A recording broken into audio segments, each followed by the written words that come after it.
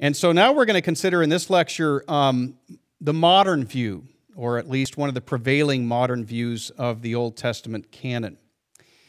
Um, if you took an introduction to the Old Testament course today, what, what a, a modern professor might teach about the uh, formation of the canon is going to look very different from that account that we gave, the more traditional account. All right, so when he comes to answer the question, how did we get uh, the Old Testament, he's going to be uh, sort of approaching that question with certain assumptions, certain presuppositions.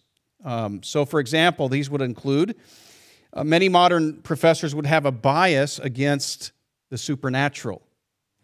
All right, so they're going to read the Old Testament scriptures and they're going to just read it as you know the product of just natural uh, development um, without God's intervention.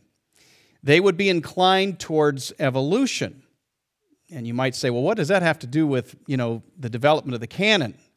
Well, they take the sort of scheme of evolution that's normally in our minds applied to biology, uh, and they apply it to the development of religion and we're going to talk about that shortly. But basically, the idea that religion starts off very primitive and then it develops over time, and then they apply that to the religion in the Old Testament. Thirdly, they have this assumption that Hebrew literacy, you know, the, the knowledge of, of writing, the ability to write, that that's something that developed very late in the ancient Near East, including among Hebrews. So they're very doubtful of early Hebrew literacy. And then, fourthly, they're critical of uh, the Bible's inspiration and its reliability. Um, and so they come to the Bible with a very sort of a critical mindset. So let's kind of, you know, fill each of these out a little bit and talk about them. So first of all, their assumption is that they are biased against the supernatural. You see this, um, you know, especially in the, the 19th century. Um, some of these Old Testament scholars come to the Old Testament and they say, well, instead of uh, ascribing this to the activity of God, inspiring individuals and so on, the supernatural activity, let's just kind of view it as just like we would any, any other religion that develops among human societies. Somebody gets the bright idea that they're going to put down in writing their thoughts about what God is like and what God is communicating to people. And so that's what men like Abraham Kuenen uh, advocate. He's a Dutch scholar, and, and in, his, uh, in this book edited by Orr, Problem of the Old Testament, uh, Kuenen says this He says, So soon as we derive a separate part of Israel's religious life directly from God, and allow the supernatural or immediate revelation to intervene in even one single point, so long also our view of the whole continues to be incorrect. All right, so basically what he's saying is traditional scholars have it all wrong. They've been misreading the Old Testament. And so, therefore, he says it is the supposition of a natural development alone which accounts for all the phenomena that we find in the Hebrew Bible. All right, so that that's how you and I have to approach it. Is just read this as we would any other simple religious book. Furthermore, there's this idea of the evolution of religion. Okay, and again, this sort of is based in some of the thought of Charles Darwin, where Darwin, of course, is primarily concerned with the origin of species. How did all of the animal life on Earth come into being? How did it develop over time? And of course, he applied this even to humans. Well, many modern scholars got the bright idea that they could just apply that same scheme to religion. All right, so you have primates, and when you're when you're talking about primates, primates don't really have any religion, right?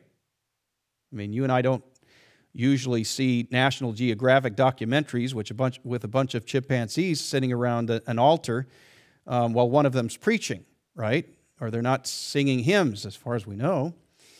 Um, but at some point, you know, men became, or these primates became Homo sapiens, which that term just means, you know, wise human.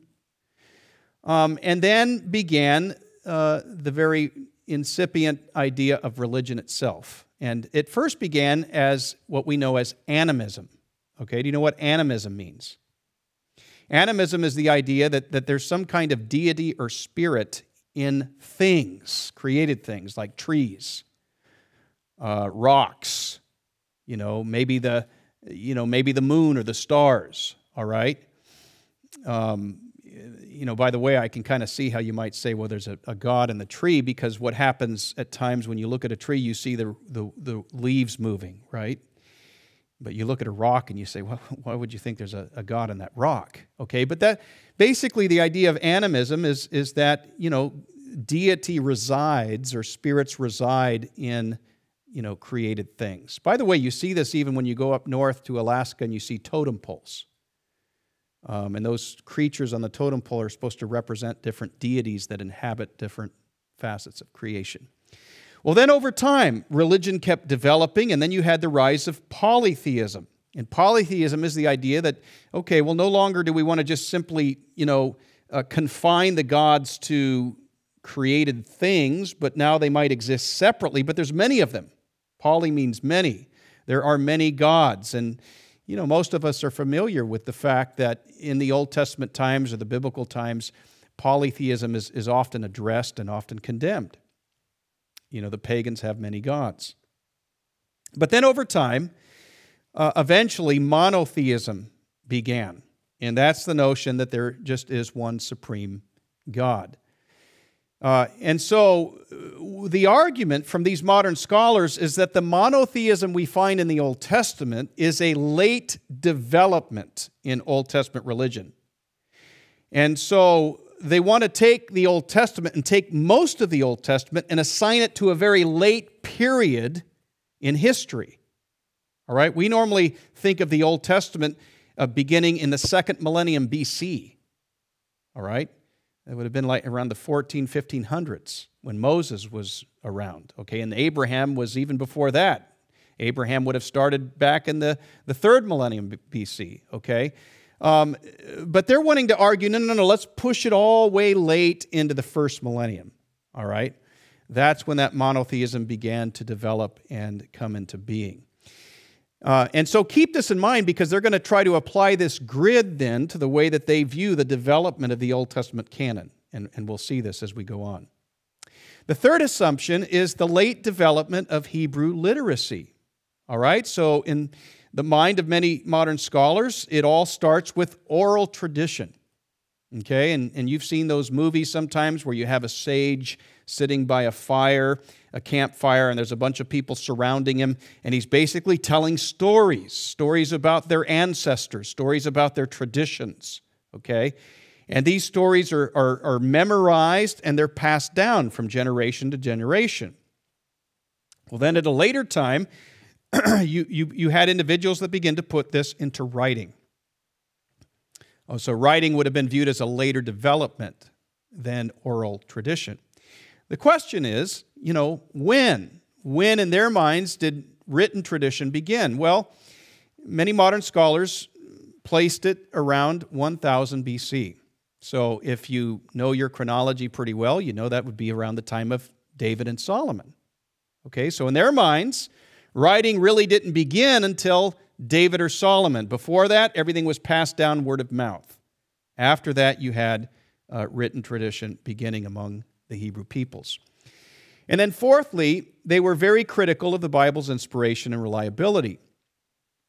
You had um, the modernist view, which basically arose in the, uh, you know, during the time of the Enlightenment, uh, 18th century, 19th century, early 20th century. This view denies anything supernatural. It sees the Bible as reflecting the religious thoughts of ancient writers, which may contain abiding principles of truth and religious value. So, if you read, by the way, uh, religious literature from the early 20th century, they wax eloquent when they're talking about the golden rule or you know some of the Ten Commandments and, and all of these things they see as very valuable for us. Okay, but um, they're very critical of the Bible as well, and they reject huge parts of it. Okay, because they they reject the supernatural and inspiration. Later on, in the middle part of the 20th century, right after World War II, uh, all of a sudden, some of these modernist scholars saying, wait a minute, you know, humanity is not getting better. It's, it's really bad, right? Because Hitler, you know, is killing all these Jewish people and people are nations are still going to war and so this idea of evolution is not working very well and so you get some modification to the modernist view known as the neo-orthodox view this view does allow for some supernatural intervention in history which is a welcome change right and, and, but but it still sees the bible as sort of fallible human reflection on god's activity in history so, in, in a sense, the neo Orthodox wants to have the best of both worlds. All right? It wants to have the, the religious value of the Bible that the conservative traditional view has. They want to say it's still relevant, that you still have the gospel. But then they want to be able to maintain that critical stance towards the historicity of the Bible that the modernist has. And so the bottom line in both of these views is that the Bible is fundamentally a human product and as a result, it contains human errors. So, those are the assumptions. How does that affect the way that they describe the development of the Old Testament? Okay. Well, let me give you one of their representatives. This is uh, Herbert E. Ryle. Does anyone know who his father was? J.C. Ryle. So, this is J.C. Ryle's son. And unfortunately, the Son did not follow the Father in this case. So if you read his book on the canon of the Old Testament, he wants to argue that the law, the book of Moses, was really not written by Moses, but was written by someone else. It was completed and canonized around 400 BC. Okay? Um, then he wants to argue that the prophets were completed and canonized around 200 BC. Okay, now notice, remember the traditional view says it was in the 400s. So he's going to be pushing the prophets later, and we're going to talk about why he does that. And then he's going to say the writings were completed and they, they were really not canonized till after the time of Christ, AD 90. Okay? So you can see how the modern view has taken a lot of the writings of the Old Testament and has pushed them much later in history keep in mind that they're, they're thinking in terms of this evolutionary development and of the fact that literacy was a late development in Hebrew history. All right, so let's kind of look at these a little bit more in detail. So you have the law completed and canonized around 400 BC. How did this kind of thinking develop? Well, in 1753, a French physician uh, that is a medical doctor by the name of Jean Astruc. He published his conjectures on the original sources Moses used to compose the book of Genesis. And in that book, he defends Mosaic authorship. However, he does something that's a little bit novel. All right? He's going to spend some time arguing that Moses is using different sources to compose the Pentateuch. And he's going to try to sort of provide a basis for why it is he's conjecturing these different sources that Moses used to write. He bases his theory on multiple source, uh, of multiple sources on the presence of different names for God in the Pentateuch. Sometimes the, uh, the writer uses Yahweh. Other times he uses Elohim. Okay? Moreover, in the Pentateuch, you have seeming parallel accounts of events. So in Genesis 12, we read about Abraham taking his wife Sarah and company down to Egypt. And what's he do when they, when they get there? He tells a lie. You know, he basically, you know, uh, veils the fact that they're married and passes her off as a sister. And Pharaoh takes her and you know, you know the rest of the story. Well, what's interesting is that if you get to chapter 20, the same thing seems to happen all over again, except this time it's in Gerar among the Philistines, but he does the same thing with his wife Sarah. And so, you know, because of that, um, guys like Astruc is saying, well, maybe there's two sources. There's one source that, you know, took this story and, and told it this way, and another source that took it and told it that way behind the writings of Moses. And he also talks about alleged differences in literary style of different parts. Okay, and, and that's, you know, sort of giving him the idea that, well, maybe different authors contributed to the book of Genesis. Now, keep in mind that this particular scholar at this time is still defending essential Mosaic authorship. Okay, so he's, he, he's still saying Moses wrote this, he's still treating it, you know, as scripture. But then time goes on, and other scholars follow him, and they begin to apply what becomes known as source criticism to the entire Pentateuch. Instead of defending Mosaic authorship, they posit different authors or authorial guilds. So, an authorial guild just means like kind of a school of authors. Okay, they're like followers of a particular scribe or rabbi, and they all just sort of contribute to this writing process. Okay, and so this trend of positing these different sources culminates in Julius Wellhausen's Prolegomena, which that word means introduction to the history of ancient Israel. He was a German scholar in the 19th century and it was Wellhausen that popularized what's called the documentary hypothesis, also known as the JEPD theory. All right, how many of you have heard those expressions? Okay, um, they're almost notorious, right? Um, especially among conservative circles, because uh, this theory really had a profound influence upon Old Testament scholarship um, in the 19th century, throughout the 20th century, and even today, it still exerts some influence. What does this theory teach? Well, basically, the idea is that there are these different writers, and, and the JEPD is an acronym that basically is sort of uh, referring to these different writers. So, first of all, you have the Yahwist. All right, I know it says J, but in German, J is pronounced Y, so it's the Yahwist. Um, the Yahwist basically did his writing around 950 BC in the southern kingdom of Judah. All right, so that would have been, you know, just around Solomon, Rehoboam's time, and so on. And uh, so he's basically writing a Jewish history and he's giving some of his own unique perspectives. Again, I say he, but it may have been they. That is the Yahwist Guild. All right? Well, then you also have, about 100 years later, an individual or a group of persons uh, known as the Elohist source. And uh, they're in the northern king of Israel. By the way, why is one called the Yahwist and the other was the, the Elohist? What do you think? Okay. And so, you know, one of them is going to be referring to God as Yahweh, and the other one's going to be referring to the, uh, God as uh, Elohim. And, and can, can you already imagine what their minds are doing now as they go through the, the law of Moses, the five books of the Pentateuch? What do you think they're looking for? Yahweh. Oh, well, that must have been one source. Oh, but over here it's Elohim. Well, that must be another source. Okay, so you see where this is going. Well, thirdly, they have the Deuteronomists, the D. That would have been written around 600 BC in Jerusalem during a time of religious reform. You, do you guys know what period or what religious reform he's talking about there? He's talking about the reform under King Josiah.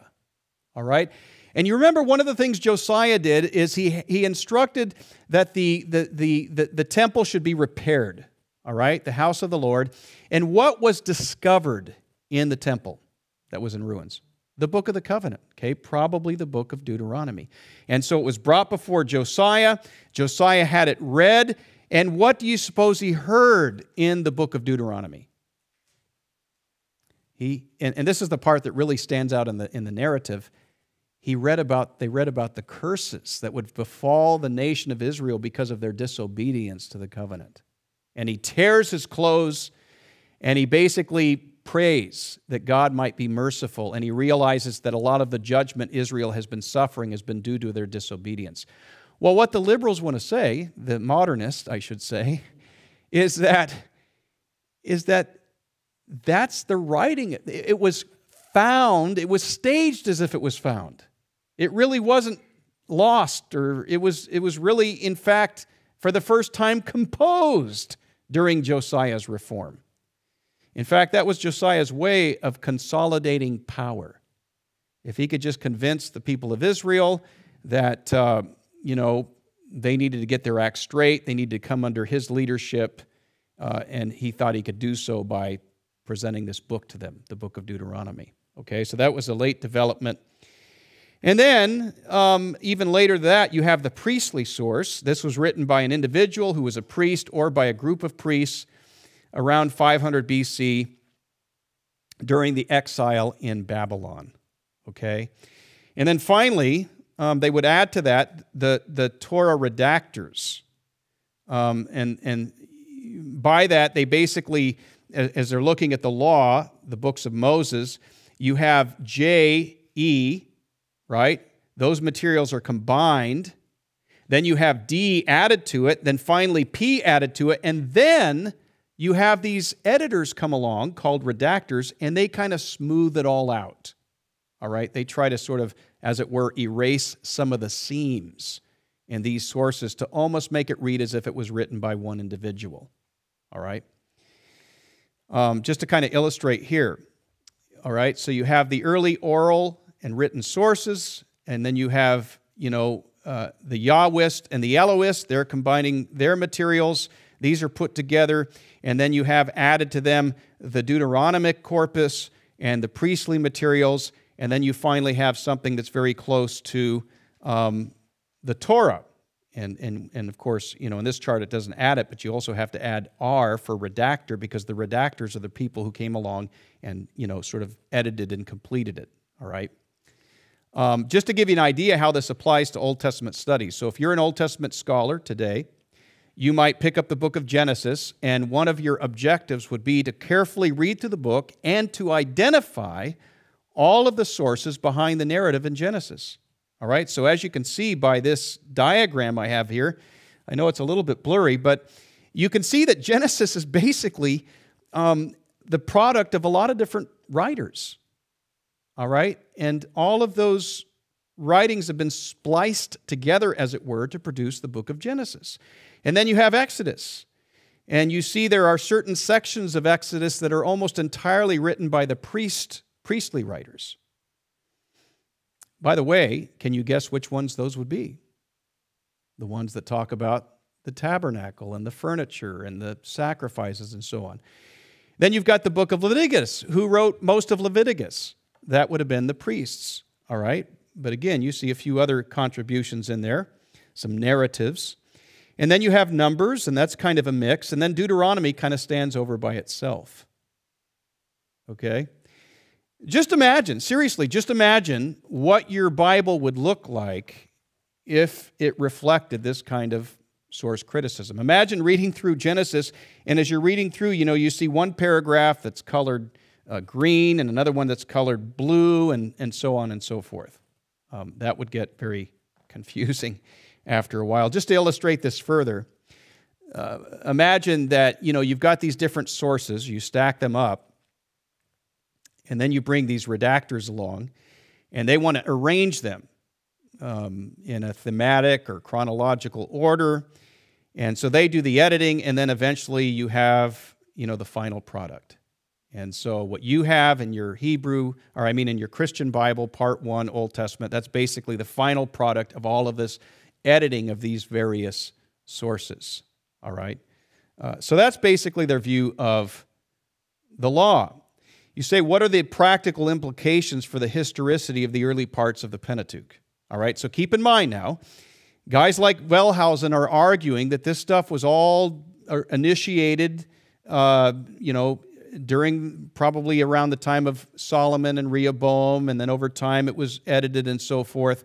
Um, but what that means is that none of your, your, your books of Moses were written even remotely close to the time of Moses, hundreds of years later. And, and you know, they're, they're relying on a lot of oral tradition primarily. And so, therefore, what does that tell us about the history we have, say, in the book of Genesis? Well, here's what Wellhausen says.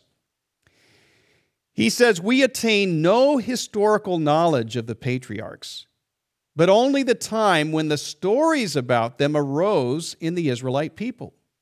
This later age is here in the book of Genesis, unconsciously projected in its inner and its outer features into hoary antiquity and is reflected there like a glorified mirage.